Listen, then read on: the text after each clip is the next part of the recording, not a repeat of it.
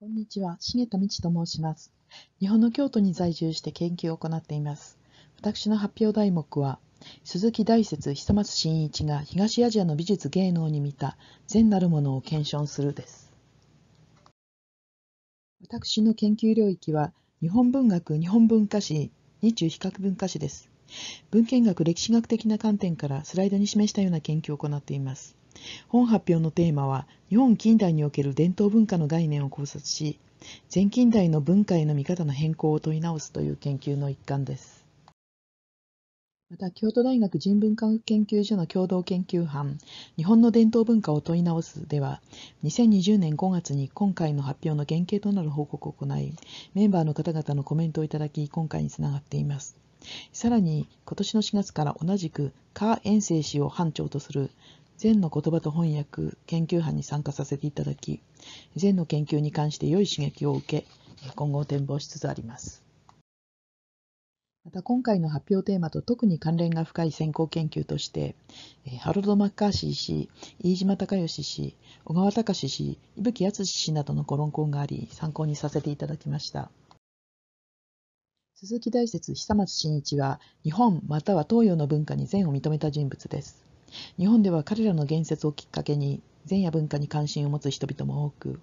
欧米でもアジアの思想や文化に接するきっかけとして一定の影響を与えてきました。そのような中、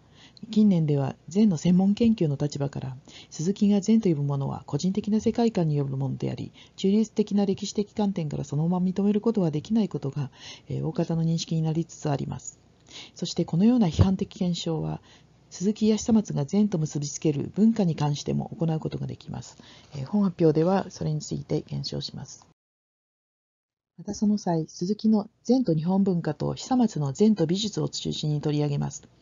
善と日本文化は英文原著が1938年、北川桃による日本語訳の岩波新書は1940年に刊行され、幅広い層に普及している新書のベストセラーです。久松善と美術は日本語原著が1957年、英訳が1971年に刊行され、美術芸能の写真の図版を多数収める大型版です。両著とも初版以来、数種類の形態や版で刊行されています。それではまず、鈴木大拙伝と日本文化を取り上げます。禅と日本人や日本文化との間には特別な関係があるとするのが本書に通底する鈴木の考えです。それは禅が日本国民の文化生活のあらゆる層に深く入り込み、日本文化の形成に寄与したというものです。またそれは日本ならではの特徴であることを中国と比較しつつ強調します。しかし鈴木の本書の言説には矛盾とみられる点や読者に疑問を生じさせる点が諸々に見受けられます。第一に、鈴木の言説は全体的に歴史や実態に関する説明が荒い面があります。例えば、日本における南宋海外の関心や評価に関しても、人々の思考や文化交渉は個人や社会時代によって一概に言えないはずですが、それが一応一律であるかのように述べられています。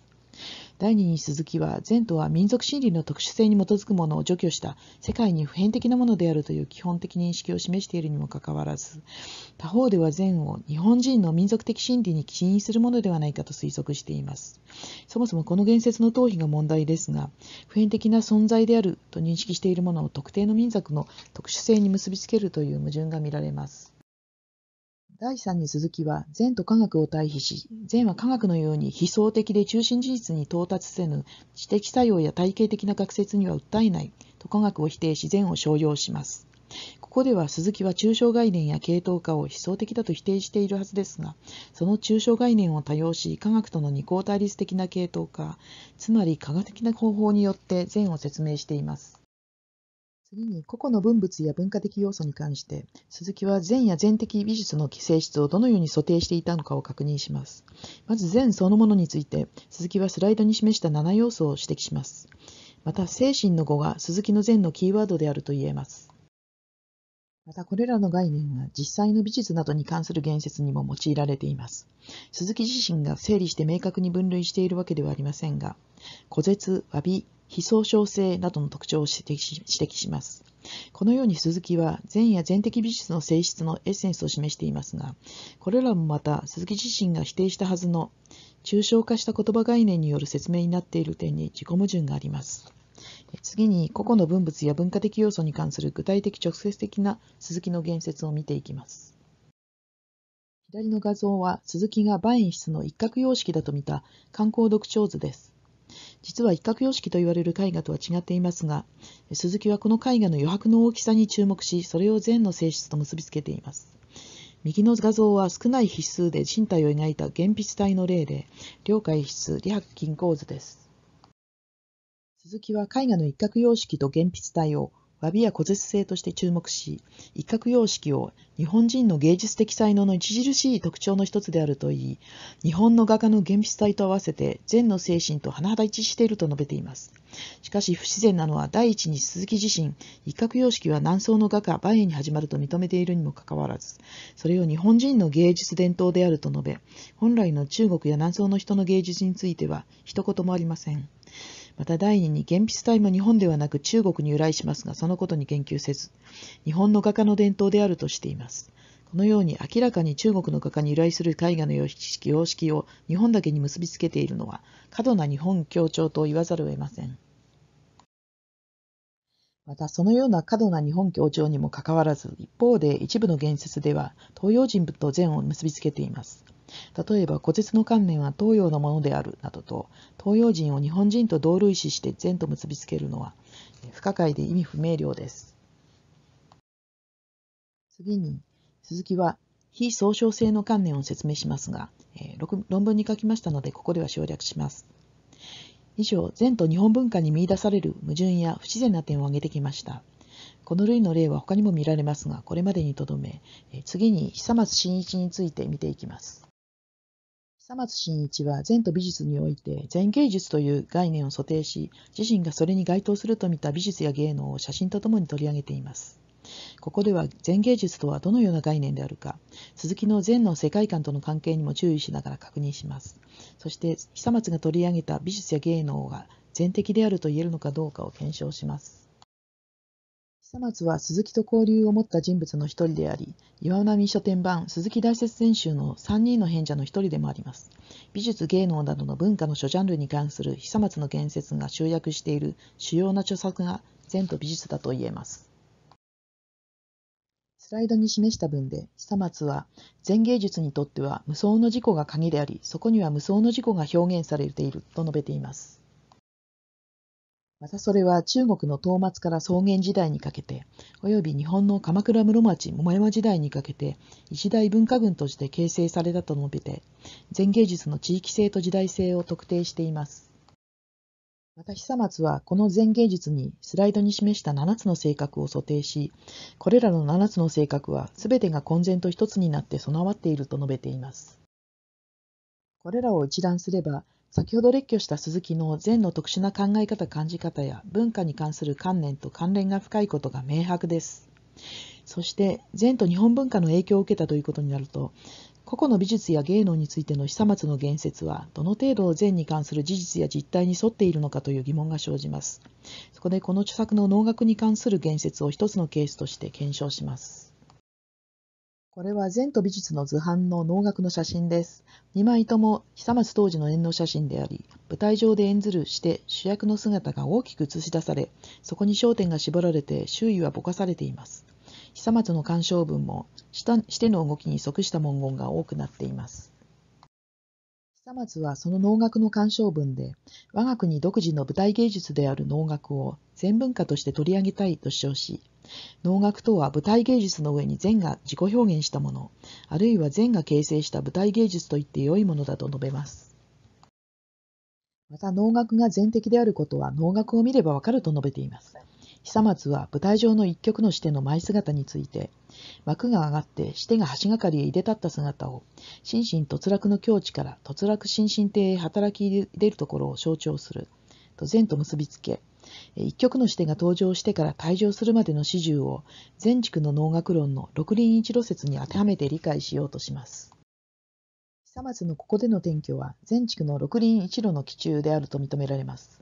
久松は実際の演能にこの伝書の用語を当てはめ善と結びつけますが、そのように当てはまることに説得力はありません。久松の言説は久松当時の久松が干渉した能に対するものであり、前軸とは時代的に大きな隔たりがあります。さらに室町時代の能楽もまた、当時禅が盛んであったからといって、その相対を禅芸術だとか禅文化などということはできません。能楽のこの点に禅のこのような影響が見られると部分的に言うことができるだけです。結局久松が想定した禅芸術の性格とは、鈴木大拙が述べた禅や文化の性質を韓国脱退したとみられる美の抽象観念です。久松は自身が特定の文化ジャンルの個別の例にその抽象的な美があると感じたことと、そのジャンルや例が日本において禅が盛んだった時代に成立展開したという2つの条件が合えば、そのジャンルの相対または特定の文物を禅と結びつけます。このような見方は久松の個人的世界においてのみ成り立つものであり、一般的に認めることはできません。以上、鈴木の禅と日本文化と久松禅と美術における言説は、歴史的観点や実体面からは容易に肯定できないことを指摘しました。次にその上でさらにこの両著作の解釈を試みたいと思います。まず禅と日本文化ですが、鈴木はなぜ矛盾があったり不自然だと見られたりする言説を行ったのでしょうか。禅と日本文化以外の文献数点の内容を視野に入れて考えてみたいと思います。まず鈴木はサビや古絶を構成する芸術的要素を茶の総称が藤原の定家と藤原の家高の和歌によって私的に定義したと述べます。定家の和歌として見渡せば花ももみじもなかりけり裏の苫屋の秋の夕暮れを挙げ家高の和歌として花を飲み松らん人に山里の雪間の草の春を見せ場やを挙げたというのですがこれは利休の伝えを書き留めたという体裁の茶の湯の伝書、南方録の内容によったと推測されます。南方録には、茶人の女王の言葉として、わび茶の湯の心は、藤原の定家の今の見渡せばの和歌の心であるとあります。また女王はそれを六祖断教に見える無一物の境外だと言い、錆び澄ましたる茶の本心だと言ったとあります。続いて、利休がそこに藤原家高の花を飲みの和歌を引いたことを述べて、茶の道を素子物の五道、すなわち善と同一視しています。南方録は成立に不審な点があり、これがそのまま実話だとは受け取れず、和歌や茶の湯がすなわち善であるという説は一般的には認められませんが、鈴木が定家や家高の和歌をサビや善と結びつけたのは、そのような近世の思想の同集であったことが伺われます。そして鈴木がこの書物の影響を受けたことが禅そのものではない和歌や茶の湯を禅に集約させ禅をさまざまな文化のジャンルと強く結びつけるに至った一因かと推測されます。次に禅と日本文化において鈴木が東洋の中でも特に日本日本人日本文化を禅と関連づけようとしていることを先に見ましたがそのような背景として欧米出身の人物の存在が注意されます。鈴木は前途日本文化英文原著のプロローグで著述にあたってイギリス外交官チャールズ・エリオットとジョージ・サンソムの著書を引用したことを記しています。俗日本文化にそれに該当する文があります。そこでは鈴木はサンソムの著書の引用として、前週の日本に及ぼしたる影響は、甚だ微妙で広範であり、日本の最高文化の精髄となっていて、その思想上層、美術文学や慣習に深く入り込んでいるという文を引用し、賛同しています。サンソムのこの言説は、禅と日本文化という本著のテーマを直接着想させるものであり、注目されます。また鈴木はエリオットの著書を引用して、その言葉で意義深い点は、禅が日本的性格の表現だというところにあると評しています。禅と日本の文化との関係に注目するサンソムの言説に対して、このエリオットの言説が禅と日本的性格との関係を述べたものである点には注目されます。鈴木のこの両者の言説への注目は、禅と日本文化のこのような特徴とも関係していると見るべきでしょう。またエリオットの同様の文言は、禅と日本文化出版の数年前に鈴木が日本で行った講演にも取り上げられていました。その講演録にも、エリオットの同じ言葉について、よく禅と日本人気質との関係を同破していると思うと賛同しています。鈴木が東洋や中国よりも日本と禅の結びつきを強調する方へ傾いたのは、禅と日本人の性格を直結させるエリオットの端的な言説に直接的に引き寄せられたところが大きいのではないでしょうか。また先に述べたように、禅と日本文化の言説は、日本人と東洋人との関係が不明瞭でした。それに対し、俗禅と日本文化には両者の関係が示された文があります。ここで鈴木は禅が育つにはインドや中国の文化が不可欠であったと言いますが、同時に禅にとって最適の土地は日本であり、インドと中国はいわばその禅準備段階の地域とみて、あくまでも日本を禅の最高峰に位置づけようとしています。先に見た鈴木が中国の画家が描いた絵画までを東洋や中国ではなく日本に結びつけたことも想起されます。これほどの認識の変更に拍車をかけたのは、上述した2人のイギリス外交官の言説に接したことだったのではないでしょうか。次に前と日本文化では先に見たように科学の言葉概念を用いた抽象化や系統化などの知的作用や体系的な学説を前と対極にあるものと位置づけ思想的であると批判しています。ところが鈴木の別の著作前の思想には知識や学問についてそれとは対照的に見える言説がありますが、えー、これについては論文に書いたので省略します。前と日本文化の鈴木の序には必ずしも学術的正確性を期せぬという文言があります。また、先の講演録からも、鈴木は、学術的な吟味を経ていない知識を常識的であると認め、ものを考える土台になり得ると見ています。前と日本文化に中立的な歴史的観点や実体面と合わない数々の言説が見出されるのは、鈴木が同人の前の立場から学術的あり方とは相互する思想に立ち、普通の日本人が常識的に持っている知識をものを考えるに有効だと見、それを用いて表したからでしょう。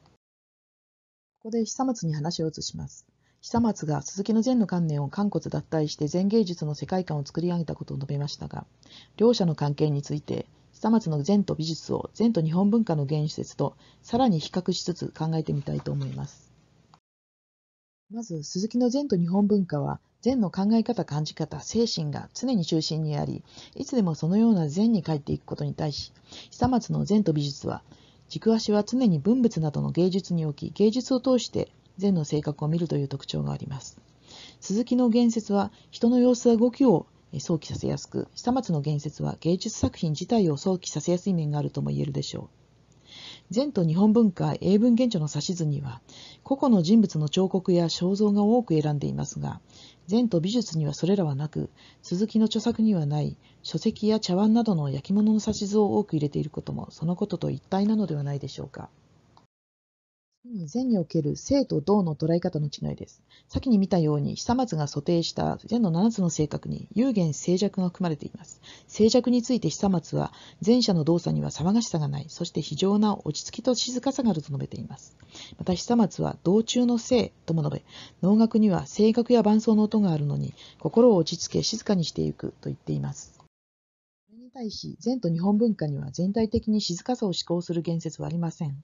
鈴木は関東武士の豪気画談という性質に注目し、京都阿村の優美洗練と対照させて、禅は鎌倉時代の武士道精神と相提携すると述べます。さらに俗禅と日本文化において鈴木は、禅の静寂を解くのに、湧き立つ油、坂巻怒涛、不動尊の火炎という過激とも言える比喩を用いています。